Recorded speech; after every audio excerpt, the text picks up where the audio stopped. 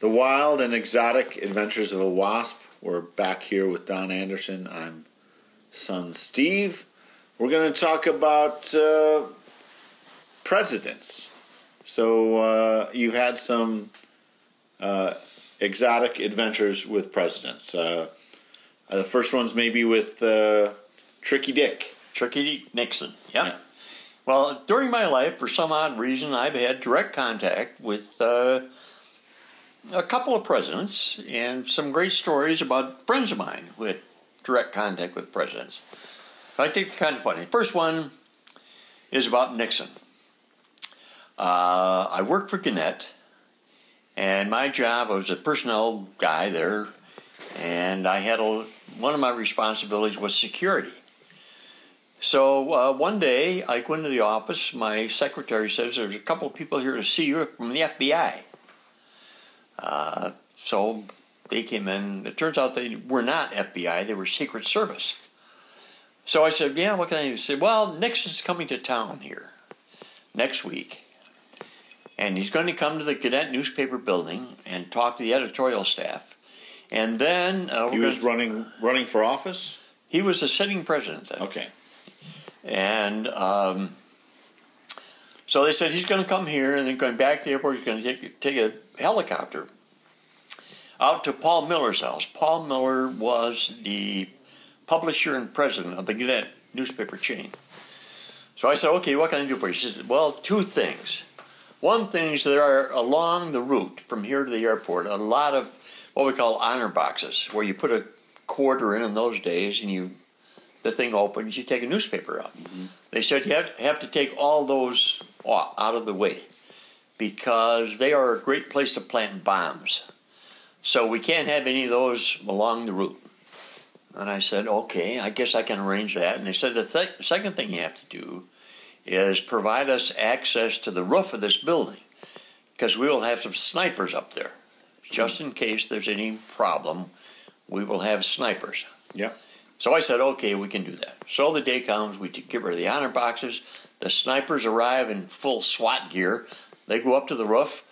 Uh, Nixon comes to town in a cavalcade and goes to the building, has his uh, conference with the editors of Gannett, and then leaves.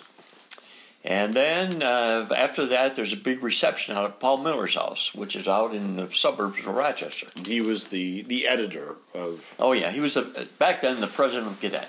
President of Big Mucky Muck. Big Mucky Muck. Did you have did he know who you were, or you were sort of an underling, or? Well, I was a bit of an underling, but I did get invited to the reception at Miller's house. Okay, so you were there.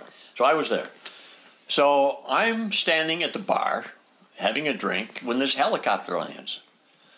Lands out in the front lawn, and everybody gathers around, the state troopers gather around, and Nixon gets off the plane, shakes hand here, shakes hands here, shakes, works his way up to the house, shaking hands with everybody, Finally, I'm standing at the bar. He finally gets up to the bartender and he says, "Do you know what I'm supposed to do next?" he said that to you or to the no, bartender? the bartender. Yeah. Bartender says, "I don't know what the hell you're supposed to do here." So finally, somebody comes along and says, "You're supposed to be over here and make this speech, whatever." But I thought that was so funny. I mean, the vulner- vulnerability of a the president. Yeah. He didn't. Did he? You don't recall that he ordered a drink? No, I don't think so. He just wanted to figure out what the hell he's where, here for. Where do I go now, sort of? Well, then another story about Clinton. Uh, this is not one that I was personally, but a good friend of mine, uh, Harold Johnson, uh, had retired and was working at Chautauqua as a uh, marshal on the golf course. So Clinton came to Chautauqua. I think this was when he was preparing for one of the presidential debates and he came there uh, to prepare for it. And while he was there, uh, they got a call at the golf course that Clinton wants to play golf tomorrow. They said, okay, we'll do that. And he says, he's going to need 37 golf carts. They said, 37 golf carts? Yep. He's got to have uh, two golf carts for he and uh, I think the local congressman was going to play with him then, and Panetta was his uh, something. Leon Panetta. Leon Panetta. Yeah. So they arranged that, and then there were like 10 golf carts for Secret, Secret Service people, and then a first aid team, and then reporters and whatever. 36 or 37 golf carts. So they they figured that all that out.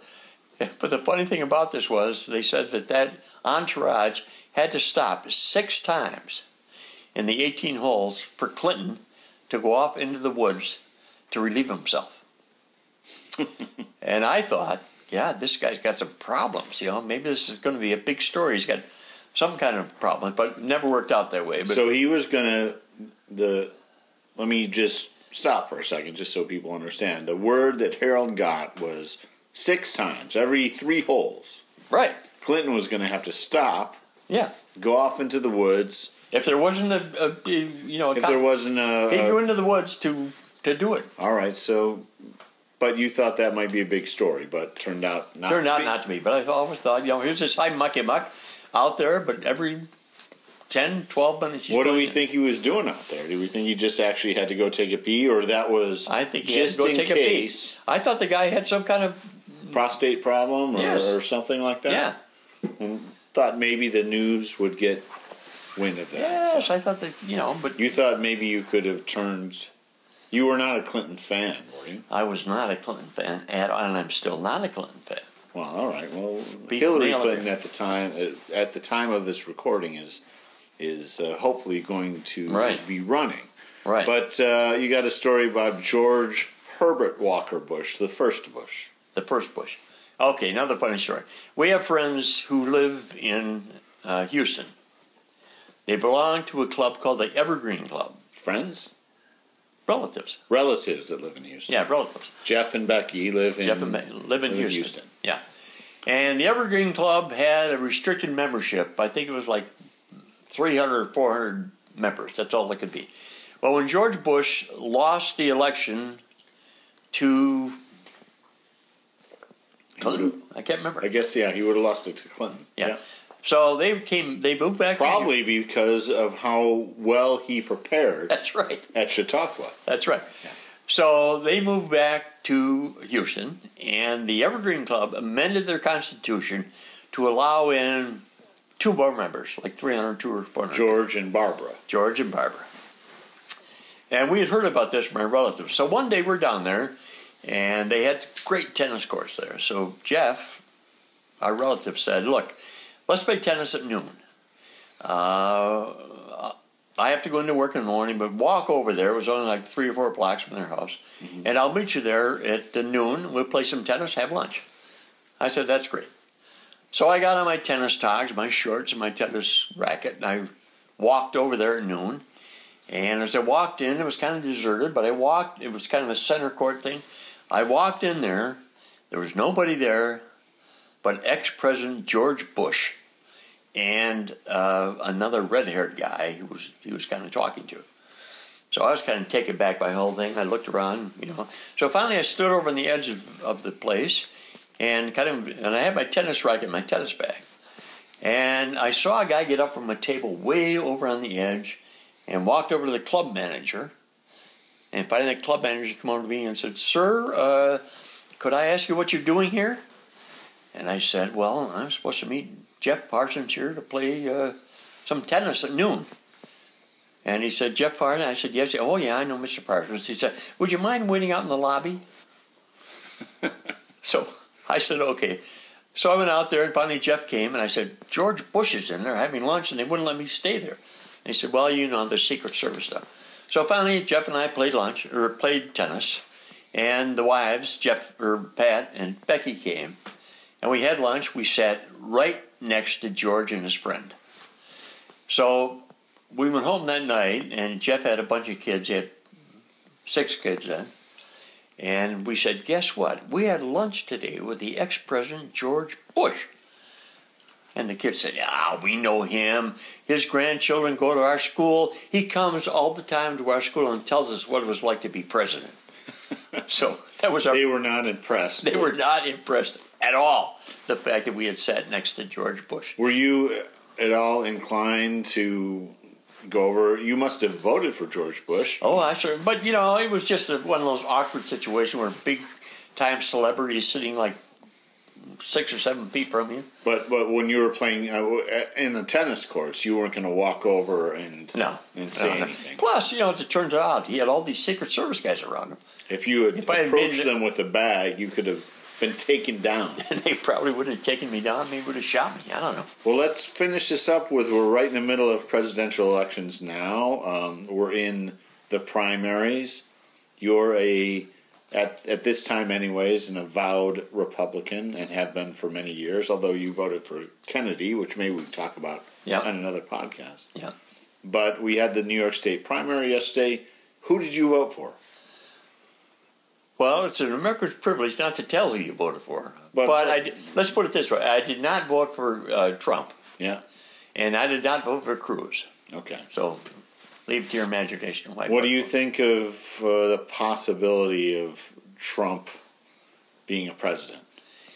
I think this election is the weirdest one that we have faced in years.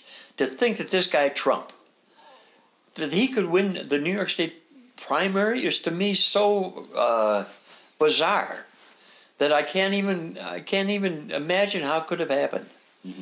Hillary, I mean, a, a retread. Hillary comes. Well, we can. Yeah, we. I, we will. I will go on record saying his Don's views on uh, Democrats are well known, and although he might admire a few people uh, off the record, he's not going to vote that way. But No, I'll tell you, I was a big Kennedy fan. When he Kennedy came to Rochester, we went out to the airport, saw him get off the plane. He was like a god. He stepped off. He had this well tanned, almost yellow kind of complexion. The crowd went absolutely bonkers.